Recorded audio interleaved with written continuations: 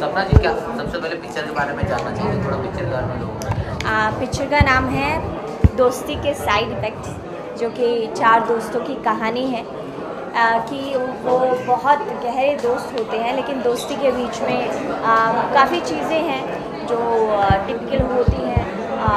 काफ़ी चीज़ें हैं जो ठीक नहीं हो पाती है काफ़ी चीज़ें हैं जो बर, आ, कोई भूल जाता है दोस्त और काफ़ी चीज़ें ऐसी होती है कोई दोस्त नहीं भूल पाता है। तो दोस्तों की लाइफ स्टोरी आपका कोई खास दोस्त आपके करीब मेरे दोस्त हाँ मेरे एक दोस्त हैं जो मेरे बहुत करीब हैं और हमेशा रहेंगे मेरी माँ। सपना जी आप काफ़ी समय से आप डांसिंग कर रही हैं बिग बॉस में गई मतलब नाम तो आपका काफ़ी पहले से ही है तो फ़िल्म में आना इतना देर क्यों हुआ? क्या ऐसी वजह रही कि फ़िल्म अब फ़िल्म में आने के लिए खुद को हर चीज़ के लिए प्रिपेयर करना पड़ता है मेंटली भी फिजिकली भी। तो बहुत सारी चीज़ें होती हैं। एक एक्ट्रेस को बहुत मेहनत करनी पड़ती है जो कि मैंने देखा महसूस किया। तो वो मेहनत कर रही थी। तो बिग बॉस में से कुछ आसान हुआ काम एक्टिंग ऑफर्स मिलना? नहीं ऐसा नहीं है। एक्टिंग बहुत अलग दुनिया है और बिग बॉस बहुत अलग दुनिया है। डांसिंग बहुत अलग दुनिया है। तो और हर दुनिया में अलग अलग चीज़ें हैं। किसी में सक्सेस मिलती है किसी में नहीं मिलती है। लेकिन जहाँ मिले वहाँ भी खुश रहो जहाँ नहीं मिले वहाँ भी खुश रहो को लेकर बॉलीवुड को लेकर क्या थॉट्स है अभी आपको? आई थिंक अच्छा करूँगी। बहुत अच्छा करूँगी। और ऐसे फ्यूचर प्लान है आगे चल के और किस तरह के रोल आप करना चाहती हैं जो ऑफ़र ना हो? हाँ मुझे वैम का रोल करना है।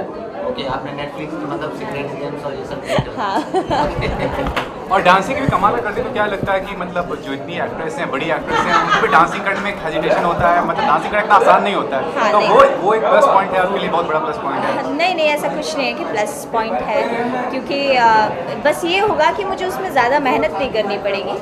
हाँ लेकिन हो सकता है प्लस पॉइंट बॉस की बात करें बॉस बारह आ रहा है कितना एक्साइटेड है देखने के लिए? मैं बहुत एक्साइटेड हूँ मैं पब्लिक से ज़्यादा एक्साइटेड हूँ उसको देखने के लिए।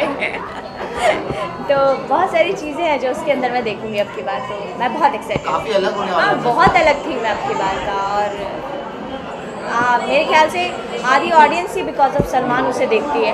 तो मैं भी बिकॉज़ ऑफ़ सलमान ही देखूँगी और लास्टली क्या पूछना चाहूँगा कि अगर बॉलीवुड में आपको मिलते रहे ऑफर्स तो मतलब जो डांसिंग करियर है आपका मतलब जो हरियाणा का वो जो डांसिंग वहाँ पे इन्वॉल्व रहेंगी या फिर नहीं नहीं वहाँ कैसे छोड़ सकती हूँ सर मैं? अपनी मातृभूमि कभी नहीं छूटेगी।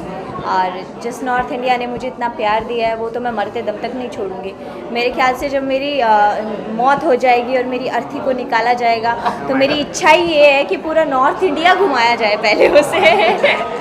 हमारे से बात हुई ने कहा खास इंटेंशनली हमने सपना को किरदार में लिया उन्होंने उस पर बहुत वर्कआउट भी किया है। हाँ। एक वर्किंग वूमन भी आप नज़र आएँगी। हाँ तो और खास इस बात का भी ध्यान रखा कि हरियाणवी किरदार हो।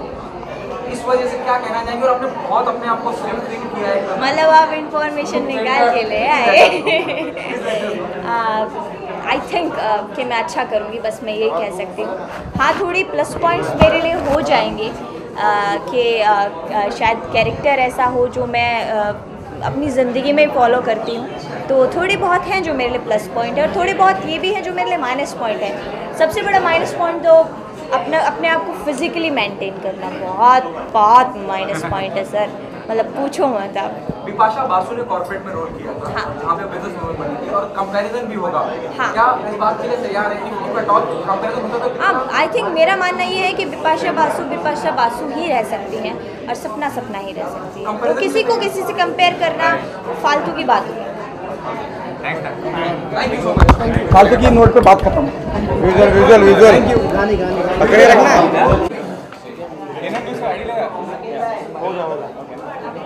ले ले ले ले बस क्या नाम है? Thank you